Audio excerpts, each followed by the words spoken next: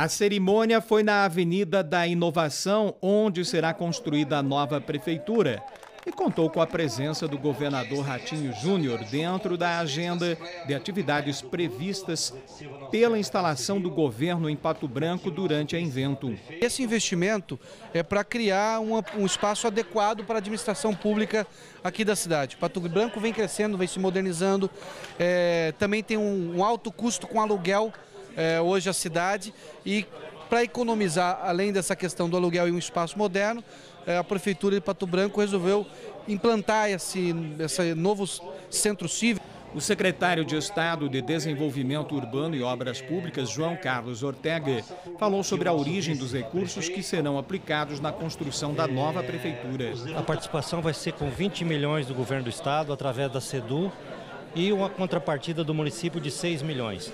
Uma obra importante aqui para o município que vai ser o início do novo centro administrativo aqui do município. As obras começam assim que os recursos forem liberados, com dois anos para sua finalização. Eu espero começar até o início do ano que vem, começar a obra, né, para que a gente possa ter o desenvolvimento da obra normalmente. Quer dizer, eu tenho certeza que na, na próxima gestão, o próximo prefeito vai continuar a obra, porque até porque os recursos vão ficar garantidos em caixa né, para terminar a obra.